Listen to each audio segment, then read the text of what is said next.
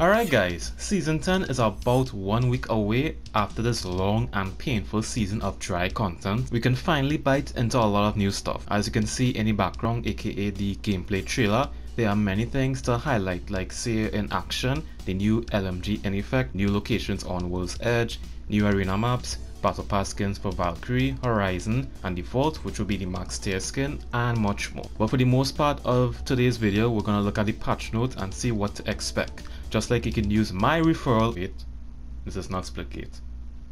God damn it. So yeah, without further ado, let's start with everything that we'll be getting in Season 10.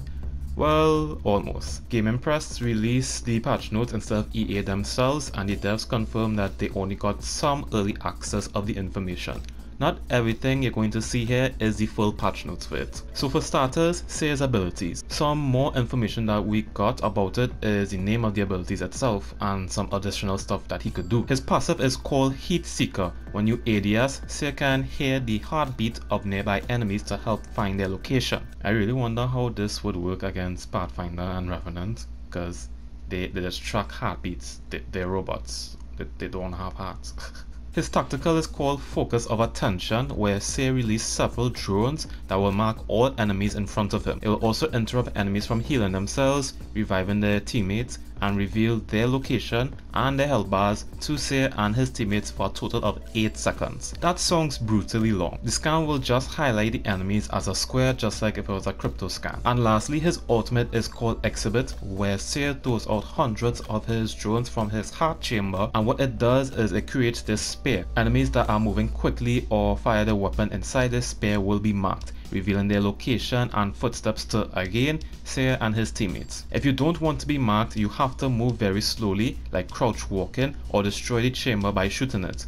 So um hmm Who's Bloodhound again? Next on the notes are the legend changes. Again, these are most likely not all of the changes that we're going to see. We got 3 buffs and 1 nerf. So to get the nerf out of the way for Revenant, you will be able to hear a cue and a visual indicator when the death protection is going to wear out. For the buffs, first going for Caustic, just what we needed. Instead of his gas taking for 5 flat damage every second, the damage will increase by 1 every other second with no limit as to how high it could go. His gas grenade will also disappear 5 seconds sooner. Horizon ability to maneuver while in the air on her lift is adjusted to somewhat be close to how it was before and Fuse Knuckle Cluster will last twice as longer now allowing him to deny areas longer and enemies caught in his Motherlode ultimate will be highlighted. This will make it much easier for you and your team to see who is caught inside of his Motherlode. Moving on to the map changes now with some before and after images. First location we got taken over refinery is called Climatizer. The whole north side of the map is covered in snow and Hammond built this new location. It is also said that this POI is much bigger than refinery so it might have the potential of being the new hotspot drop. Next is this lava fissure that is extended all the way into the north side of the map. From the teasers you probably saw it caused this fissure to crack more and extend all the way up to the top half of the map destroying and dividing the whole top into like two different areas. Next location is Sorting Factory being changed into Lava Siphon, being a more chaotic experience and lastly Trainyard is being changed into Landslide.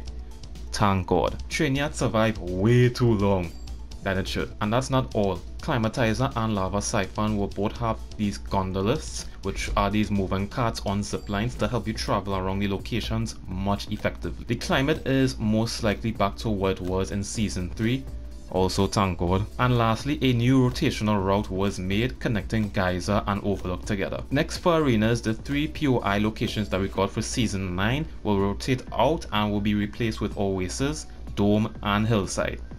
Like seriously, who called this place Hillside? A quick breakdown on the new Rampage LMG. It uses heavy ammo and supposed to be a slower shooting, more powerful variant of the Spitfire. It can be armed with thermite grenades and what it does is it shoots much quickly and it could destroy doors when you shoot at them. The only other weapon that could do this is Rampart's minigun and we all know how big the door meta is in Apex. And finally to end off this video with the weapon and hop up changes, at this point when I mentioned the new LMG is a heavy armor weapon and supposed to be a variant of the Spitfire, I think you all know where I'm going with this. Yes, the Spitfire is going into the care package and the Prowler is going to be a ground weapon now. Since the Select Fire hop-up is not coming back, it will forever stay as a burst SMG. The Spitfire will however be reverted back to its pre-nerf state, back to how it was before it first got its nerf. And well, just when you thought that was all the care package changes, for the first time we will have a fourth care package weapon. Yep, that is right. Can you guess what it is?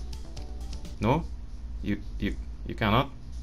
You literally saw the thumbnail of this video and you mean to tell me you couldn't answer this question correct. The disruptor rounds for the alternator is back but as a care package weapon now after very long and high demands for it. Also once again Thank God. This hop-up only stayed in season 2, so most of y'all never seen this before. So what it does is it increases damage towards shielded opponents. Next will be the hop-up changes. The anvil receiver and the quick draw hop-up will be vaulted, but the quick draw perks will be implemented into the pistols but with a lesser degree. With the removal of those two hop-ups, we'll see a new one which is called Boosted Loader, which is for the Hemlock and for the Wingman changing the guns so that they reload faster and get bonus ammo if you reload them at the right time somewhat similar to how Deadeye's Tempo works. The L-Star may be the meta weapon for Season 10 because you will be able to put a barrel stabilizer on it as well as an extended energy magazine on the LMG. Higher level mags will increase the time it takes for the L-Star to overheat so you can shoot it for longer and it will cool down faster when it do overheat. The EVA 8 will get the nerf that it deserves. The fire rate with shotguns equipped will be nerfed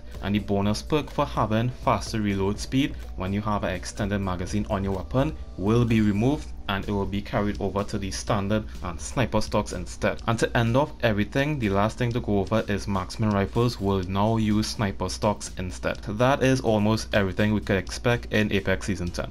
What do you guys think? What do you like or even dislike about any of the changes that I mentioned? Comment down below and please let me know. Also like the video if you enjoy and subscribe to help the channel grow and for more Apex Legends content. The links to all my social platforms will be in the description down below so hit me a follow over there. I hope you all are doing great, keep it at 100 and I will see all of you all in the next video. Later!